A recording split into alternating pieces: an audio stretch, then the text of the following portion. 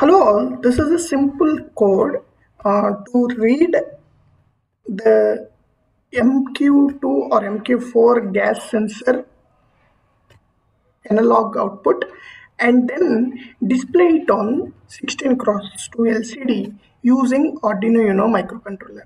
Okay, so now if you see here, we are using the inbuilt uh, I2C based uh, um, LCD display code, which you can get it uh, from the Arduino library here. Okay, so if you if you type LCD, you'll get uh, all the relevant codes for that. You can also get I2C based uh, um, sensor, uh, sorry, LCD code, uh, and uh, you can uh, directly start with that code. To that code, few modifications have been done where we have introduced a sensor pin. Uh, we are using uh, A0 sensor pin on Arduino board uh, to interface the MQ4 sensor. And then there is another variable which is introduced which is sensor value. So initial sensor value is zero. And what we are doing is basically we are printing hello world from Arduino initially and then we are clearing the display in the setup function. Now in the loop what we are doing is we are using the inbuilt function of Arduino um, which is uh, analog read off. And we are reading the sensor pin analog value. We have actually configured it here. And um, that is being uh, input to sensor value variable. And what we are doing is um, in the first row we are setting the sensor to um, cursor to 0 0 and we are displaying analog value. And in the second uh, row uh, which is uh, set by using set cursor function and we are giving 0 1 and here we are printing the actual uh, digital value that is being read. This digital value is basically the ADC value and it is not the actual voltage that we are reading. Okay? So now uh, this is how we are actually um, writing the code. And then we have introduced a random delay function uh, for a, um, simple delay purposes. Rather than reading continuously and displaying we are actually reading with some delay. Okay? This delay will show what's the exact value later. This is how we have uh, come up with um, the code. Now, let us look at the board and see how this code is functioning. Hello all, we have a MQ2 sensor which is interfaced to um, the Arduino Uno over the ADC interface. You can see here from the MQ2 interface, um, there are three lines that are coming.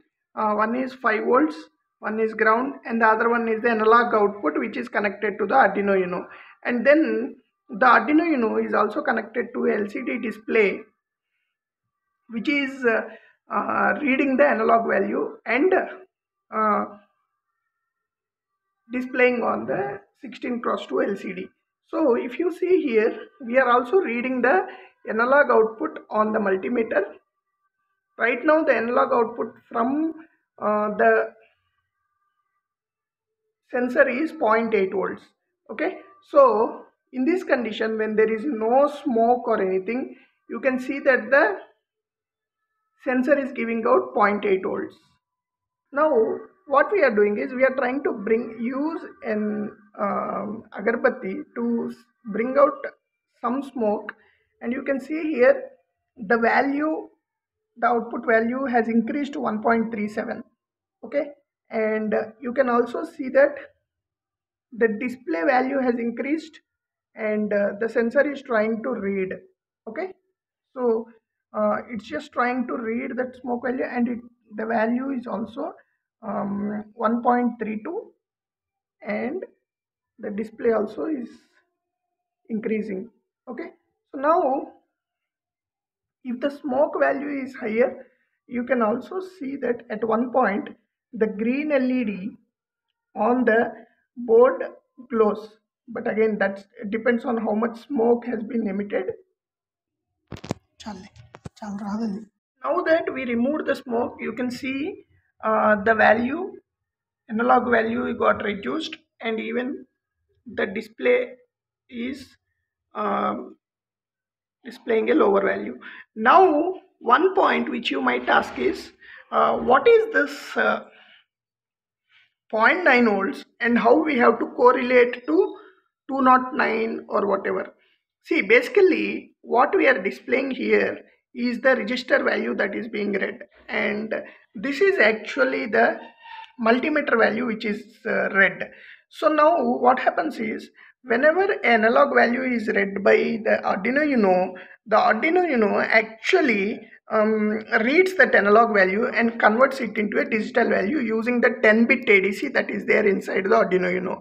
So the 10 bit ADC register is what uh, we are displaying. So as an engineer when you are working on Arduino uh, the ADC you must have a perfect correlation between the analog value that is input and then uh, the ADC corresponding ADC value or basically the digital value for that analog input.